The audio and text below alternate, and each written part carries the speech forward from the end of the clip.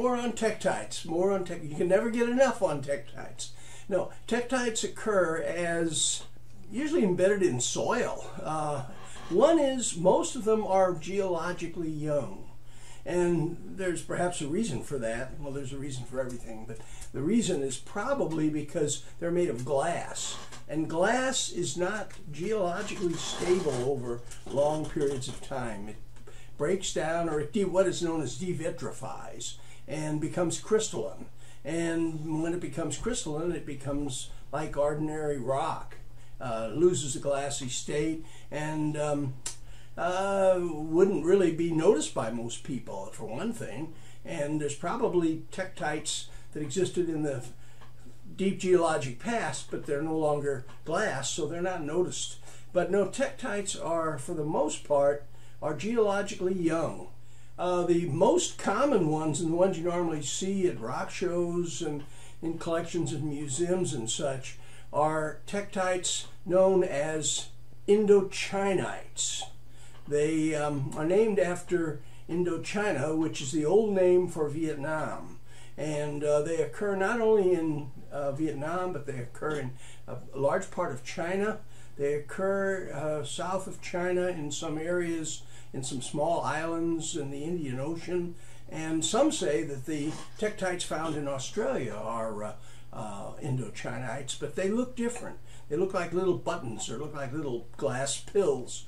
But uh, the majority of tektites you see are Indochinites. And it's of interest that um, a number of these uh, came out of the Vietnam War. In fact, I, am uh, probably upset some people to say this, but I think the only really good thing that came out of the Vietnam War was the quantity of, of uh, uh, tektites, of uh, uh, Indochinites that were unearthed by saturated bombing around the town of Dalat.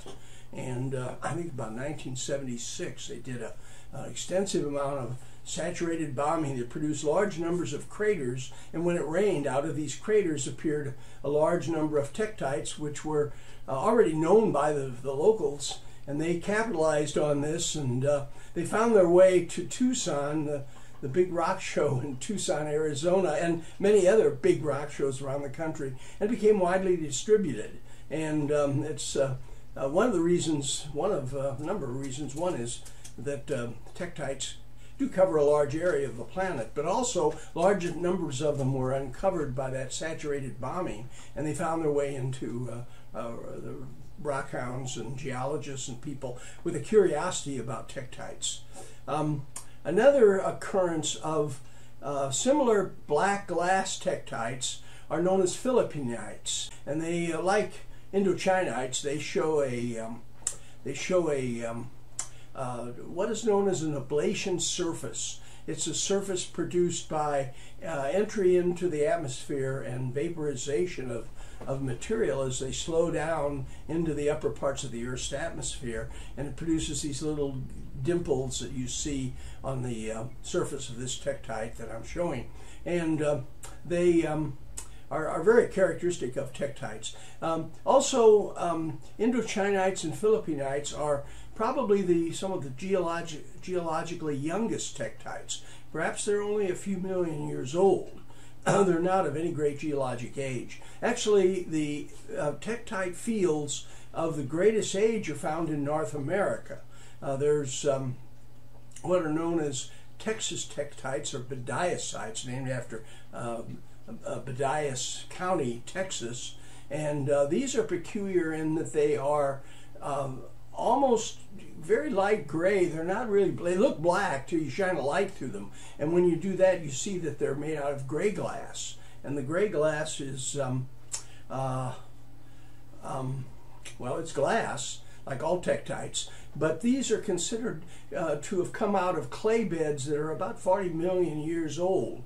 And so, um, having coming out of uh, clay beds that you're capable of measuring by fossils that are found in that clay, um, these are much, much older than the uh, tektites found in uh, Asia, uh, particularly the Indochinites and the Philippinites and um, they uh, are believed to be around 40 or 45 million years old. They come out of what's known as the Wilcox Formation. It's Eocene in age, which puts it at about uh, 45 million years.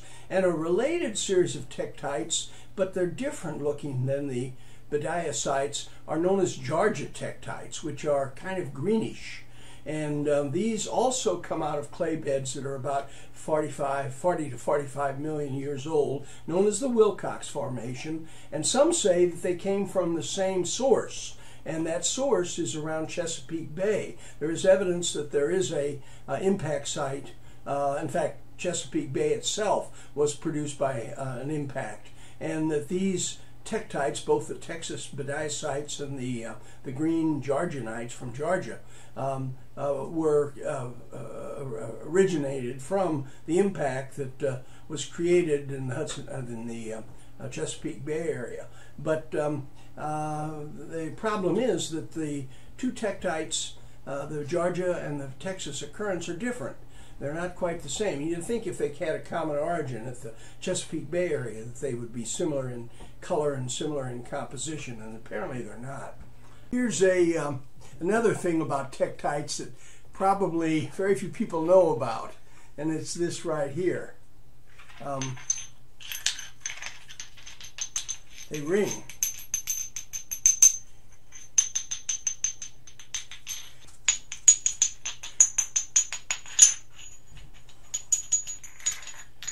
A ring.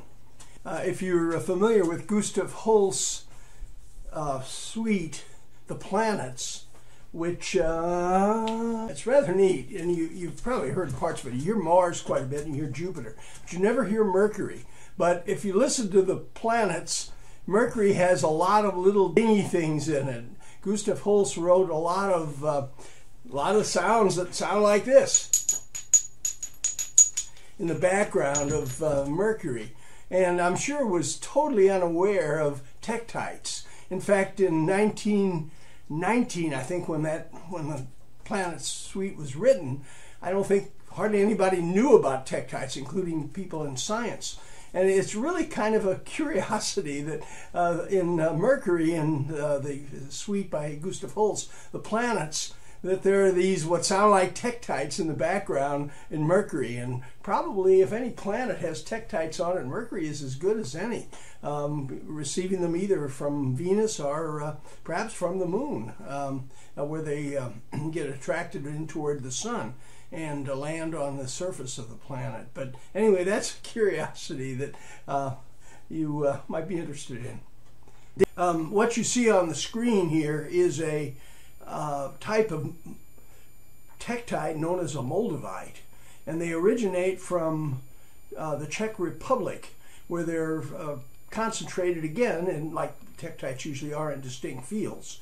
And uh, they, um, among other things, are popular for being made into jewelry, rather pretty uh, green jewelry, almost emerald green uh, glass, which of course is what they are, but uh, they uh, are uh, because they, they possibly are from extraterrestrial sources, and uh, they are uh, certainly involved in extraterrestrial phenomena impact. And you know that brings up one thing with tektites.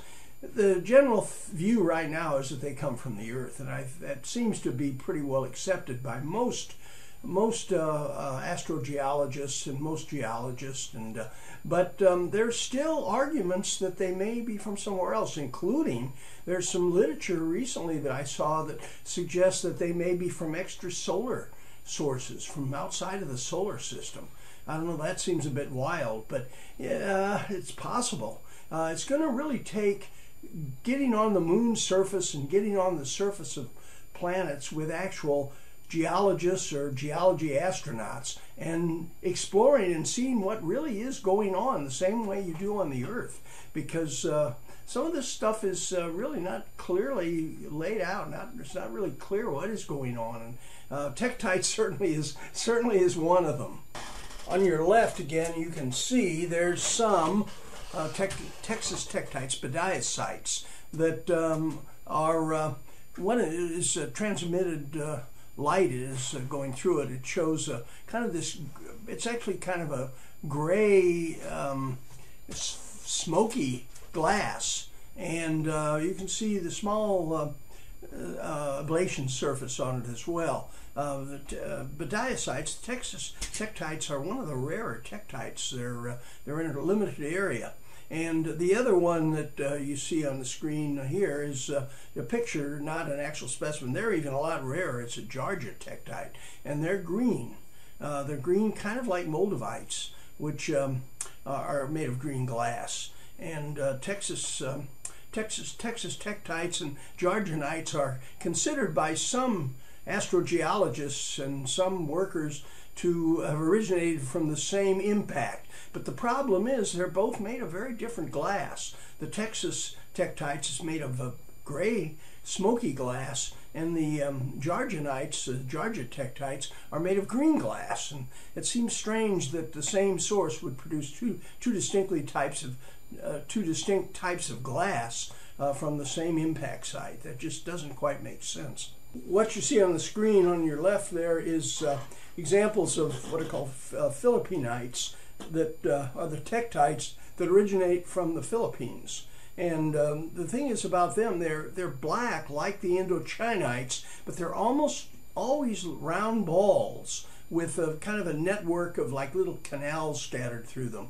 They always kind of remind me of the, the model of Mars that uh, they had before actual uh, imagery was available for Mars, and it, Mars had these imaginary canals on it, and the, the um, uh, kind of veins or uh, arteries of uh, Philippinites kind of look similar to the some of the Martian uh, models uh, early in the 20th century. But uh, these are another weird group of tektites that originate in a strewn field that occurs in the Philippines, and um, they're because they're from a limited area, they're relatively rare. You don't see them very often.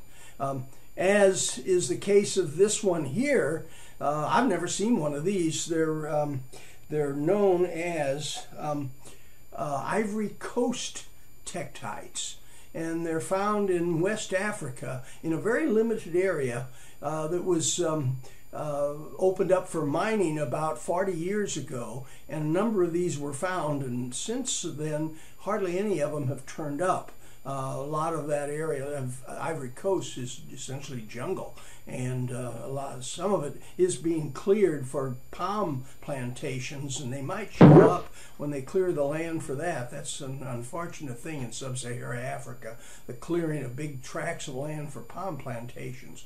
But uh, uh, to my knowledge, uh, Ivory Coast tektites have not surfaced in the last 30 years or so, or 35, 40 years or so.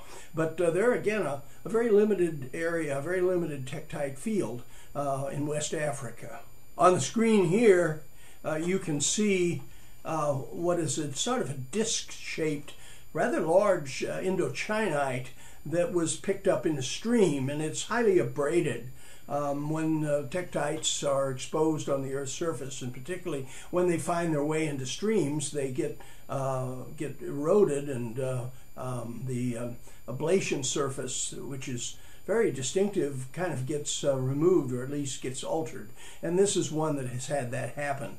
These um, disc-shaped tektites are uh, uh, uh very interesting, and the extreme ones are uh, considered part of the Indochinite strewn field, but they occur in Australia and they look like little flying saucers. They're very rare and very expensive, and I don't have one to show, but they uh, look like little uh, little flying saucers that uh, uh, uh were reformed by um, massive ablation. Most of the tektite, when it re-entered the Earth's surface, re-entered the Earth's atmosphere, was vaporized, and only part of it remained to form this little flying saucer-shaped disc.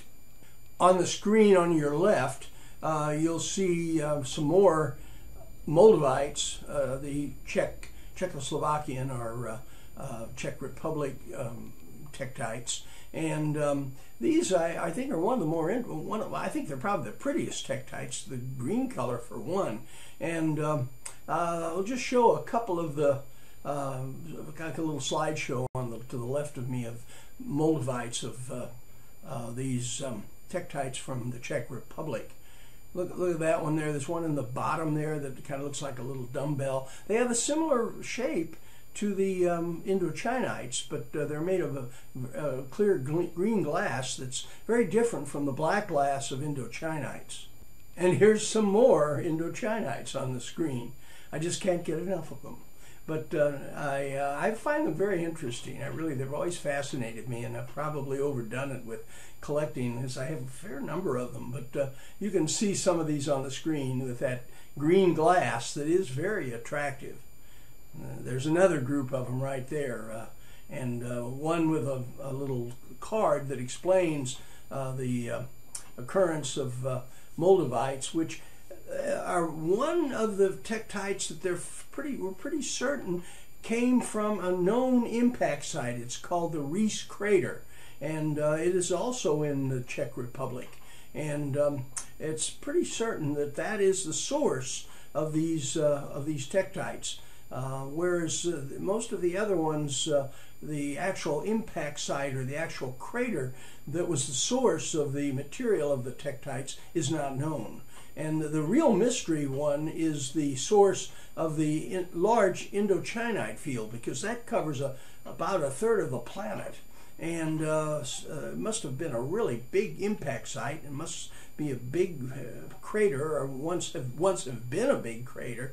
It now be maybe partially covered by the ocean, but um, uh, that has never been found. There's no uh, real clear evidence of any impact site that could have been the source of the material for Indochinites. But with the um, the uh, green uh, moldavites, uh, the Ries crater is pretty certain to be the source of the material that composes them. Uh, it agrees chemically with the composition of the uh, green glass of moldavites, and everything seems to match up pretty well.